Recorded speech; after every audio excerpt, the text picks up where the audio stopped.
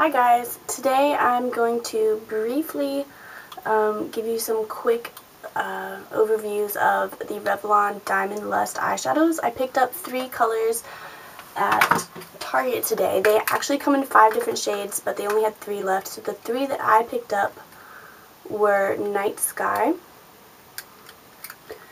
Plum Galaxy, and Starry Pink.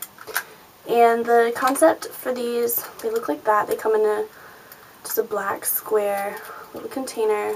Look like that. You open them up.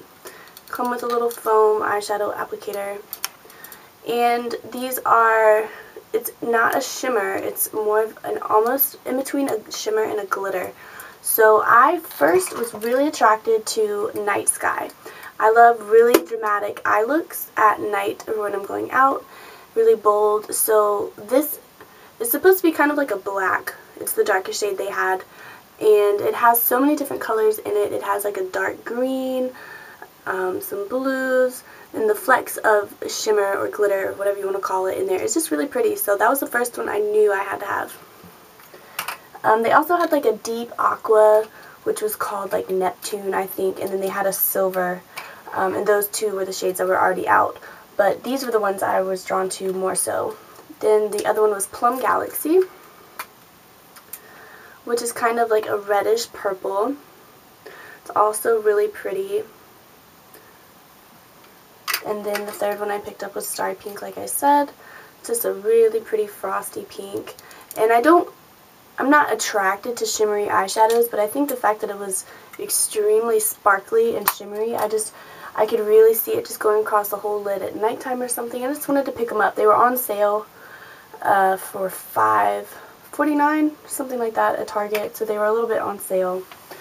And then also today I picked up another Revlon Color Stay Eyeshadow Quad in Adventurous. And I already tried, this, this one was Precocious, and I loved it. It's a little bit dirty because I've been using it. But um, these stay on really well. They're supposed to last 16 hours, I think, and not crease, and they've been doing great. They come with a little guide on the back on, you know, a couple uh, different ways to wear it. This one, Adventurous, like I said, comes with a matte brown, really dark matte brown, kind of like a coppery brown with a little bit of shimmer, not really shimmer, but like a satin finish. And then a, a shimmery, satiny type, um, like an olive green, which is really pretty. And then kind of a matte highlight shade, like an off-white, which was really pretty.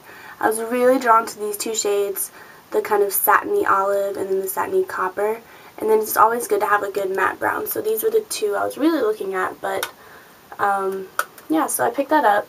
And I've swatched this one here for you. It's in the bottom row here. So this is that white the copper, the matte brown, and then the olive.